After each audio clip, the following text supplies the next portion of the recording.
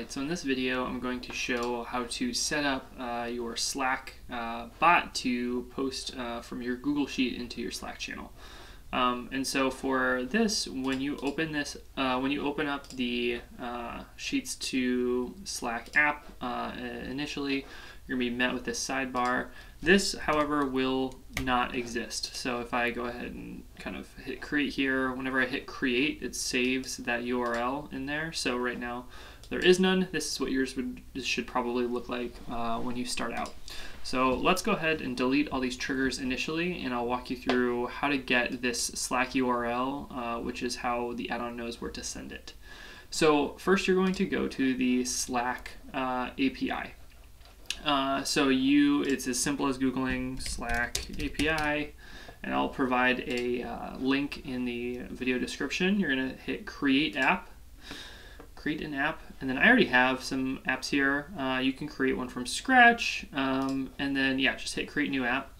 Uh, I already have one here. It's very simple. Uh, it, you know, it really spices things up if you add a little icon, uh, you know, name it, but again, not necessary. Um, the only thing that is necessary here is you're going to go over to incoming webhooks. That's the, uh, the one you want to click on.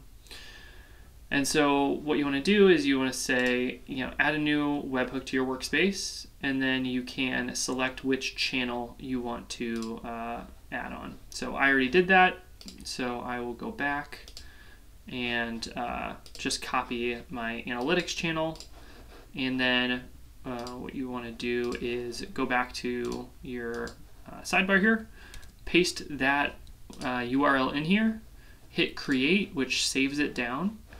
Um, now that should, so then, you know, this is saved down. Um, we can just delete that, not a, not a big deal.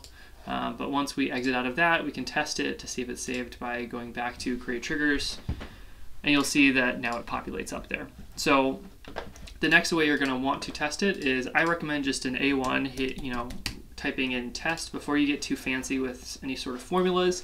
Hit test, um, and then just because this is uh, basic text, this will be really easy for it to send uh, without any errors. So make sure that the sheet name is correct. Make sure you're at A1, and then when you hit test, um, this should uh, populate right here with, I have it as my sales bot. So um, that should work properly. Uh, if it doesn't work right away, again, check to make sure that the uh, URL is correct. Check to make sure that the cell that it's referencing is correct, and, and try to make sure that it's just a very simple, just text-based message before you start adding in um, some sort of concatenations, and then that the sheet is also correct.